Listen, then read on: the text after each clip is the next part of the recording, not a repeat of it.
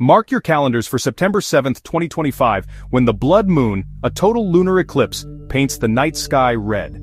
Earth's shadow will cast a surreal crimson hue over the moon as sunlight refracts through our atmosphere, scattering blue light and illuminating the lunar surface in deep reds and oranges.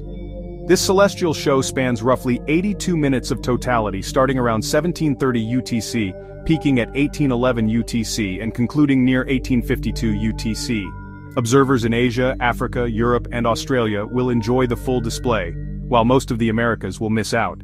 Spiritually this eclipse lands during Pitru Paksha, inviting us to honor ancestors, release what no longer serves, and dive deep into our soul's journey. In astrology, the celestial pairing of the moon with Rahu and Saturn in Aquarius is stirring karmic transformation, especially for Cancer, Leo, Virgo, Scorpio, and Pisces.